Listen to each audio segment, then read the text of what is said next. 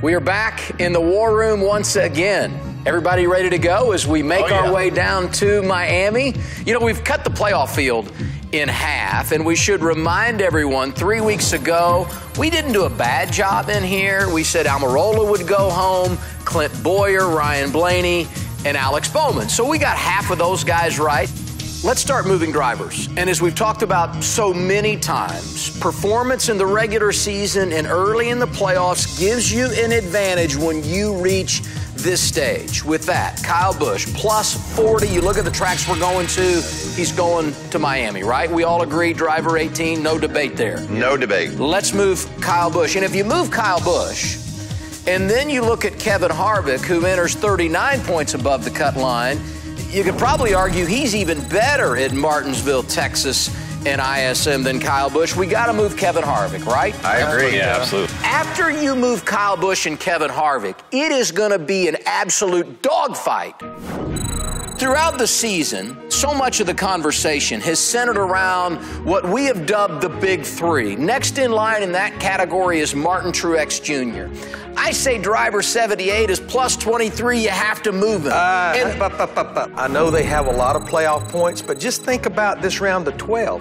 They just barely made it into the round of eight. They've not won since Kentucky back in July. It's just something missing there right now. I'm just not sure about that. You know what's 78. not missing? Those playoff points that he has. They're not going Okay, he barely That's- got in here. That's what got Barely him in. got- barely That's got in exactly from what here got to him here. I think those he's got enough playoff points. I think his performance is going to be good enough to move him into the If final. I agreed, if I agreed with you, we'd both be wrong. The one thing we've not talked about is is the uncertainty of his future and, and what impact, if any, that could have at this stage of the year where you can't have mistakes. I've been in that scenario before where a team is shutting down or, or, or things are going away. And no matter how hard you try to make it not happening, not really going on, and that not be a distraction, it happens every single time.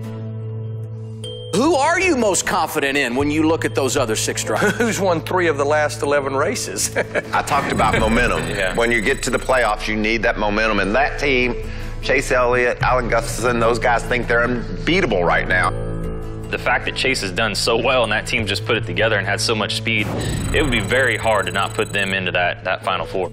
You almost performance right now today. You almost put Chase in front of those two right there. if you Just zeroed out the, the playoff points, Let's go around the table. Everybody gets a driver. Who would be your next driver? Michael, you lead us off. Momentum, Chase Elliott. Yeah, and I'm going to go with Chase on that as well. Martin Truex Jr. Sorry, Andy. Chase Elliott. Okay, majority rules. So we've got three of the four. Mark the tape. There goes Chase Elliott. Do you know who's laying in the weeds? Never thought I'd say this, but but just quietly lurking. Kurt, Kurt Busch. We we haven't said his name. We didn't talk about him a whole lot when we were here three weeks ago, but yet when All we of a were- sudden, I don't have a good feeling about putting him in that last spot because we're really not talking about him. If you look at the six playoff races, two top fives, and then everything else is outside the top 10, I, I just don't know if you can have a round of eight like that. Aric Almirola, unbelievable story in the playoffs. Makes it to the round of eight. Got the big win at Talladega. Performance has been good, but 12 below the cut line. We all feel comfortable. Aric, despite the fact that he's had an unbelievable run, he's not going to advance. Probably going to prove us wrong. So that takes us to three drivers for one spot Joey Logano, Clint Bowyer, Martin Truex Jr. I'm going to give a tip of the cap to Joey Logano. Is Logano the fourth guy? Historically, he's been outstanding in the playoffs. Nobody has been more consistent throughout this entire playoff than Joey Logano. I know they've not been to victory lane. They've only won the one race earlier in the year. He's been knocking on the door at various years to be really in the championship hunt, and I think this might be his year. Why can't we make a case for Clint Bowyer and say he's going to be a part of the championship? He is my other guy.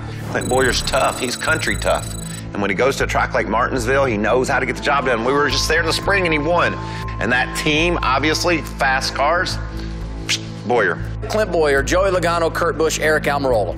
Every one of them today would trade in their situation for Martin Truex. Jr. Every one of them. Every one of them. It's still too many points to make up on Martin Truex Jr. That team is going to be in the Final Four.